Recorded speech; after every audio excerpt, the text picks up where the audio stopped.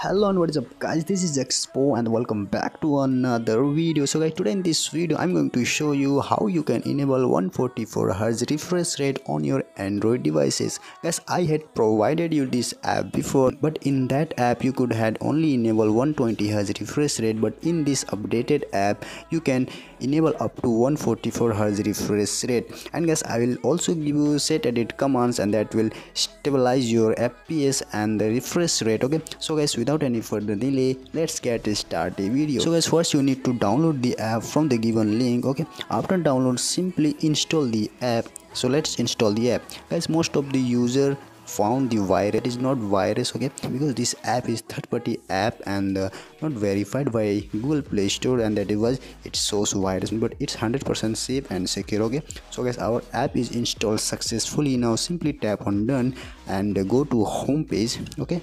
And simply drag down your notification panel okay? And tap on three dot and button order. Guys this setting may different in other devices so please check according to your device okay?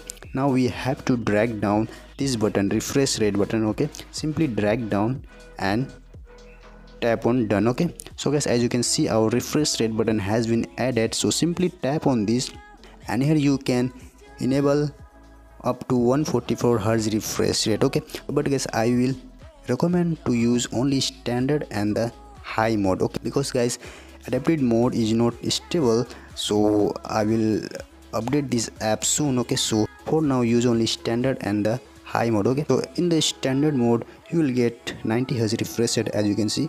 Standard mode 90 hertz okay? And then in the high mode you will get 144 hertz refresh rate okay? So guys this is the method to use this app okay? So i hope you will like this app and please let me know in the comment section whether this app is working or not okay? So after this okay i will show you the brand new SetEdit commands and that will definitely increase your refresh rate and your device performance okay? So for this simply open the SetEdit app and the tap on add new settings and uh, simply add the given commands okay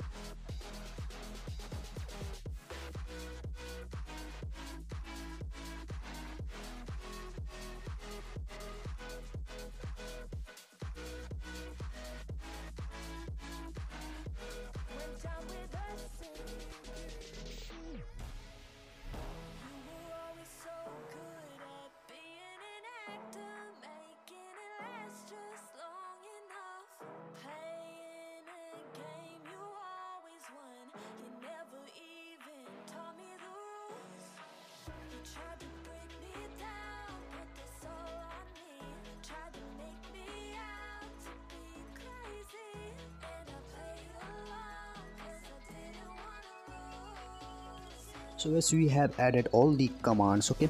After adding commands simply go to home page and reboot or restart your device to execute the all the commands okay? So guys i hope you like this video and if my videos are helpful then don't forget to like this video and subscribe my channel to get more amazing videos. So guys that's all for today. See you next video. Till then take care and sign.